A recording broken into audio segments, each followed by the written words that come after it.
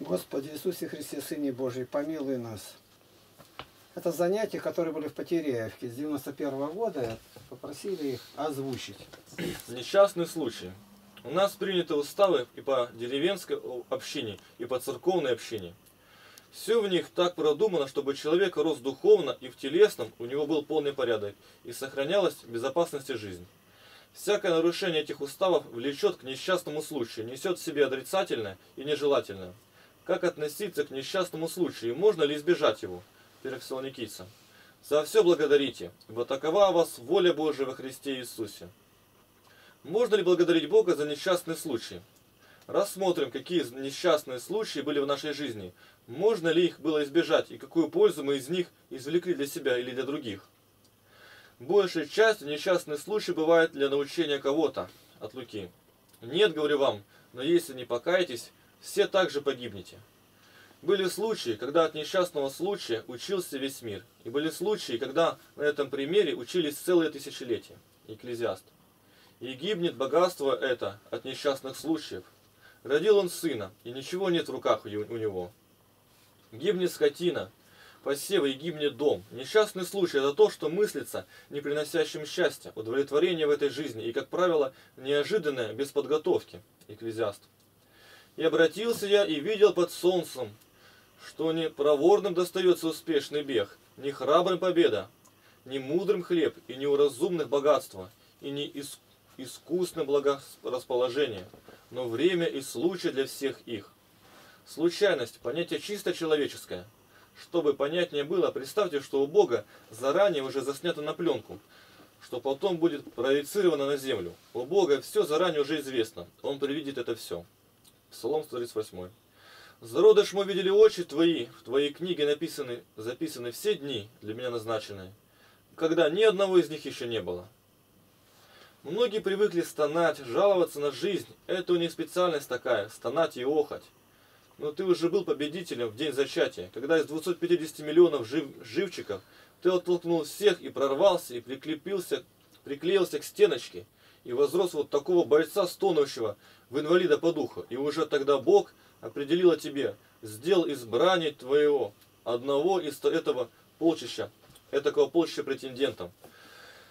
Ты уже запрограммирован на победы, потому что теперь против тебя будет всегда меньше число противников, и тебе необходимо занять только первое место. 1 Коринфянам. Не знаете ли, что бегущие на ресталище бегут все, но один получает награду? Так бегите, чтобы получить.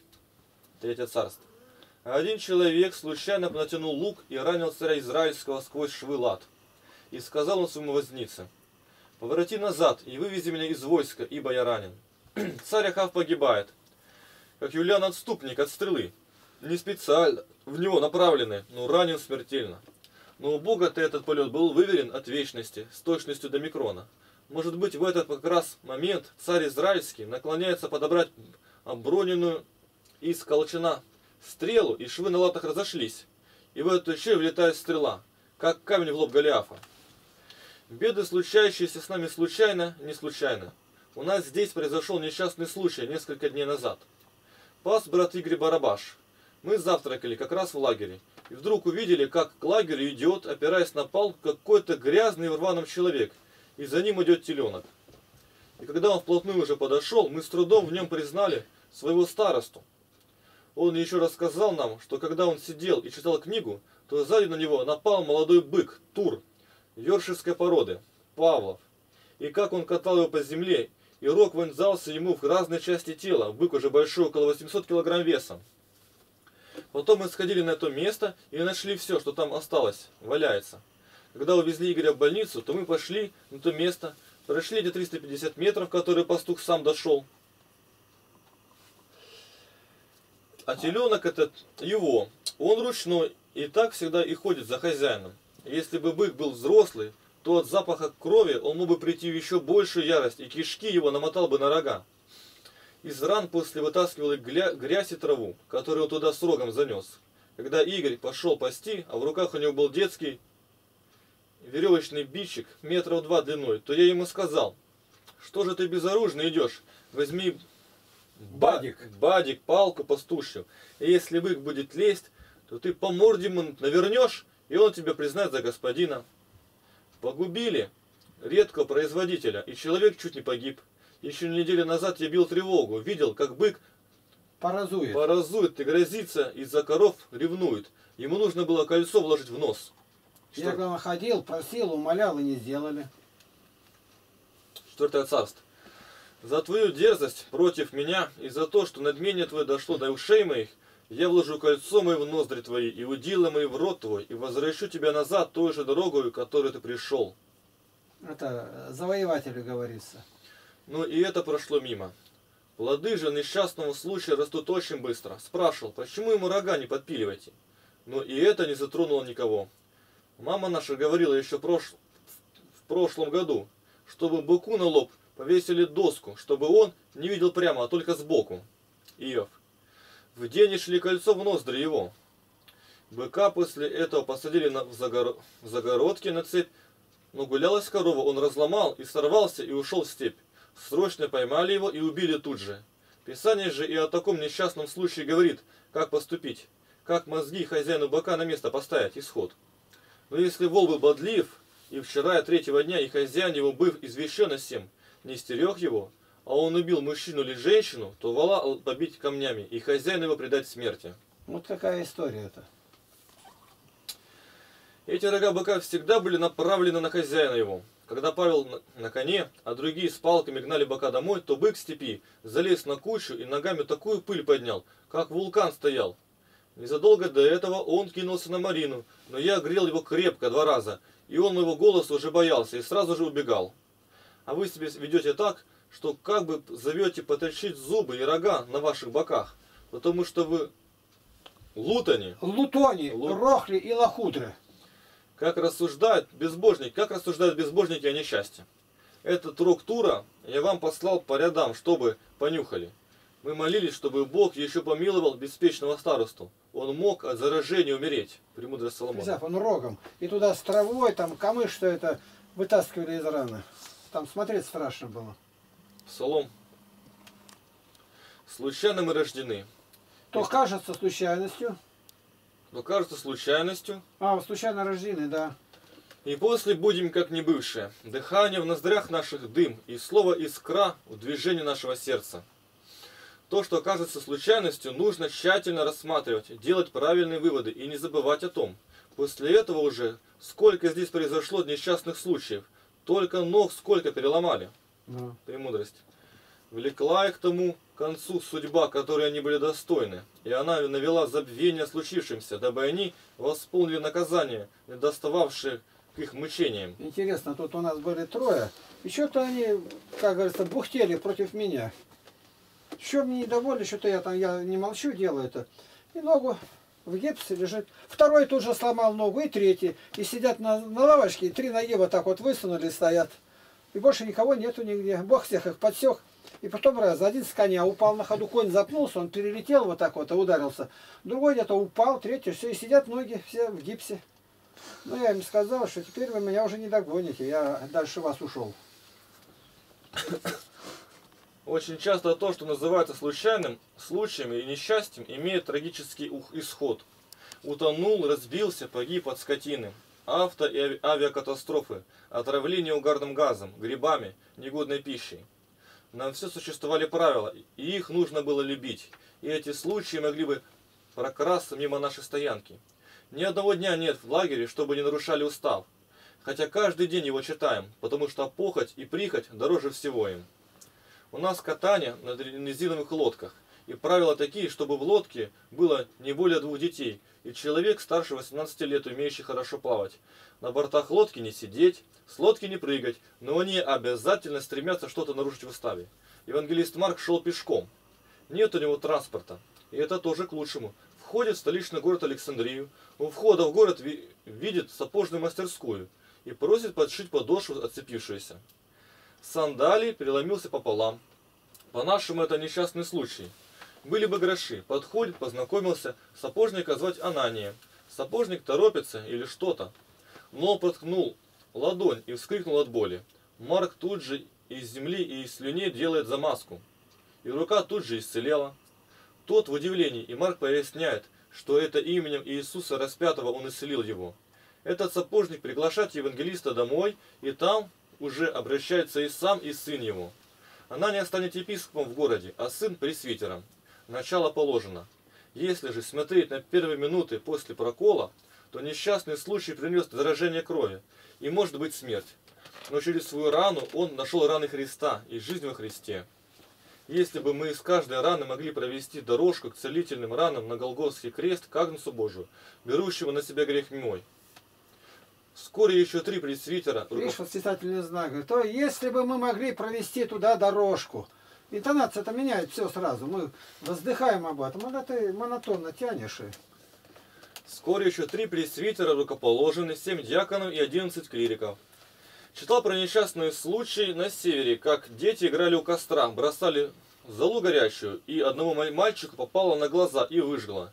Теперь это лучший проводник. Он слышит, как и где шумит ночью вода, где растения шумят на снегу в темноте. Родитель его учил всему этому, и несчастный случай послужил спасению многих заблудившихся.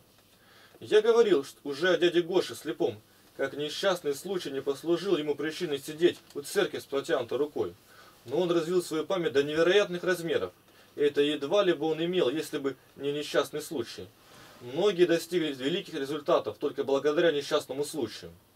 Бог видит поход тирана не Наполеона и наносит ему поражение через пастушка, как через Давида.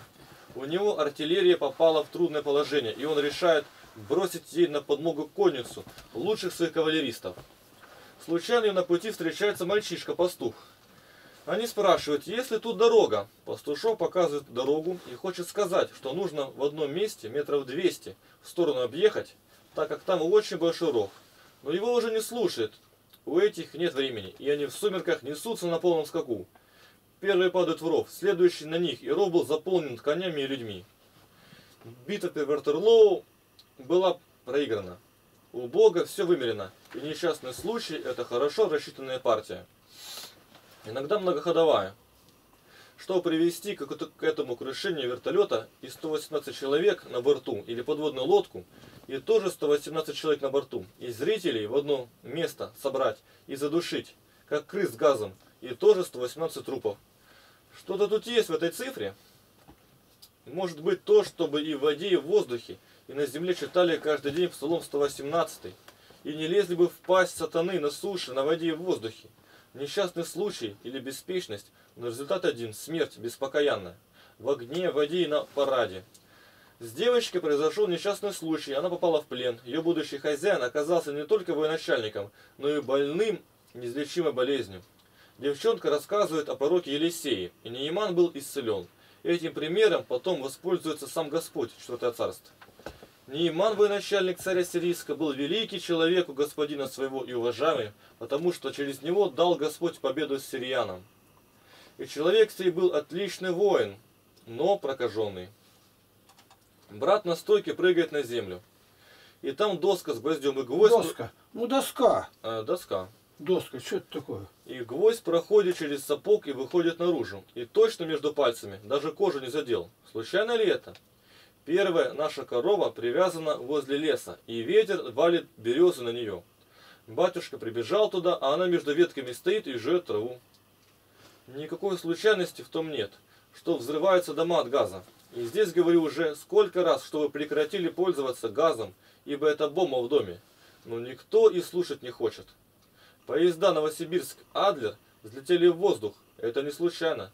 Беспечность на первом месте. У меня было много несчастных случаев, но теперь я это рассматриваю как милость Божию. Законопатили меня в психиатрию, а потом это спасло мне жизнь. Франклин Рузвельт попал в беду. Он обезноженный, но учится, становится президентом. И войну ведет такую страну к победе. Несчастный случай поистине есть несчастье, но когда им правильно пользуются, то это вызывает благодарность Богу. В Новосибирске был священник, который обещал Богу на фронте, что если будет живой, то всю жизнь будет Богу служить. Ему тут же оторвало ногу, и он стал священником. Кто ропщет на несчастный случай, тот будет отвечать за это. Многие святые через несчастные случаи получили начало новой жизни. Жития указывают на многих таких. 20 сентября.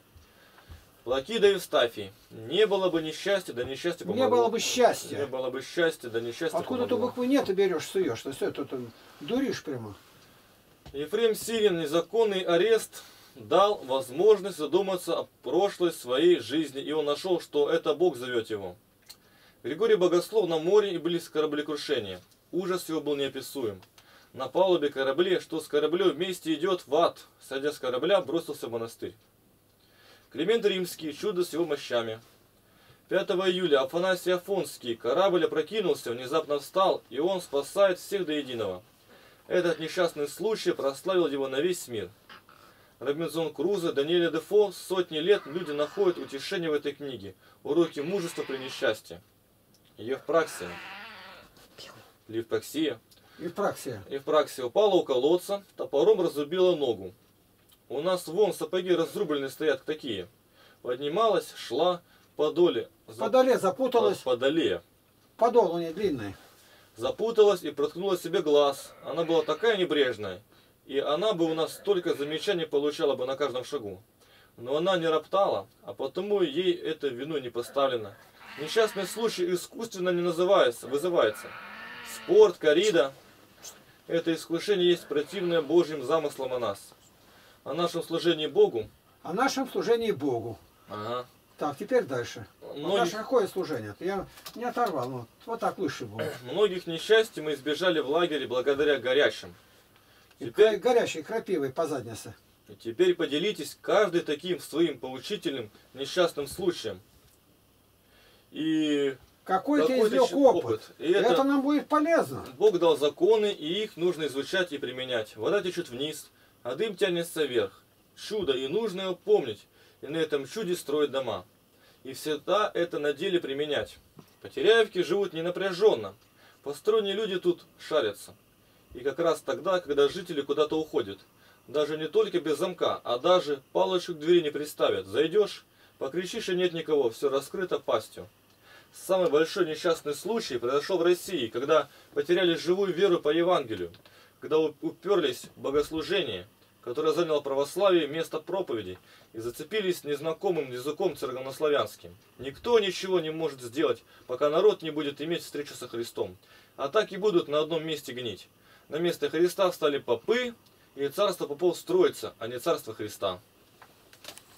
Оторвано, видите, не полно. Это видно, что только начало. Ну, слава богу, даже это и 10 минут и больше